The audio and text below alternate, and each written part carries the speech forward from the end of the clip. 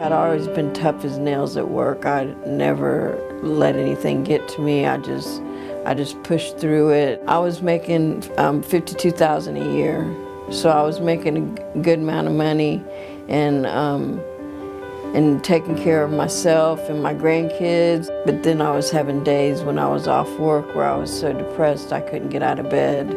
Something was just bearing down on me and wouldn't wouldn't allow me to function. And I asked for some time off from work and they wouldn't allow, allow me to have it. So I was crying at work, I wasn't being productive. Finally they sat me down and told me that my performance level had dropped to a, a place where they needed to terminate my employment.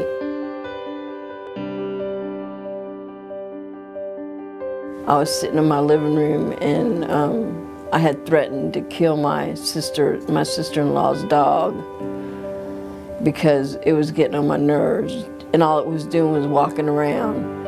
And my daughter was so taken back, you know, she said, this is it, we got to do something. So they put me Dorothea Dix. I had a case management team that took care of me when I got out and, um, and they're the ones who brought me to Club Horizon.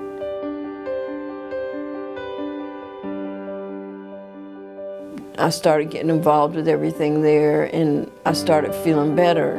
I'd never been around other people who were in treatment for the same thing I was. And it made me feel like I wasn't out there by myself.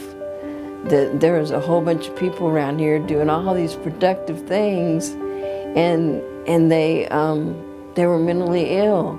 They weren't laying around and sleeping. It was exciting and they made it exciting for me.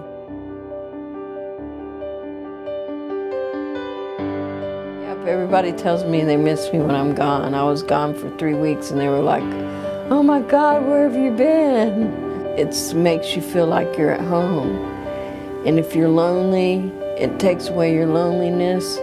If you're manic, it helps you with your mania because it gives you something to do. If you need somebody to talk to, there's people there that, that are suffering from the same thing you are. I live on my own now. I take care of my 16-year-old grandson.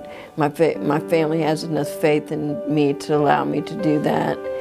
I feel like I've come a long way. I don't need any other help, except for Club Horizon.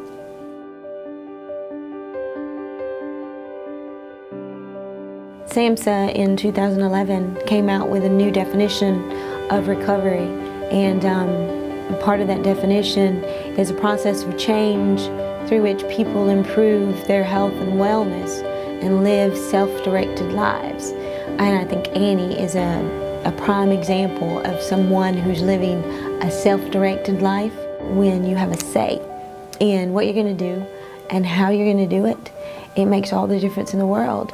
And that is what we provide at Club Horizon, an opportunity to have a voice and a say in how you want to live your life.